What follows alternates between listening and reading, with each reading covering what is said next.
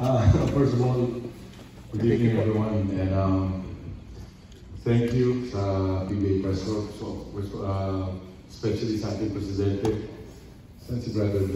Wala.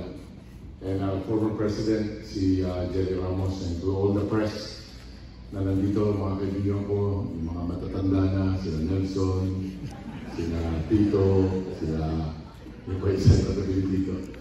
So, uh, of course, uh, thank you for coming, uh, Vice uh, Mayor, thank you.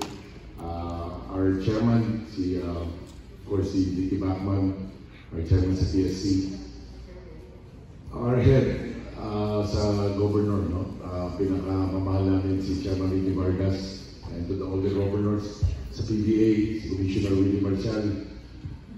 Um, you know, getting this award is, um, I want to say thank you to the coaches. Nami, the coaches, uh, Coach Tim, Coach George, Coach Leo, Coach uh, Tito Nicolero, and all the players.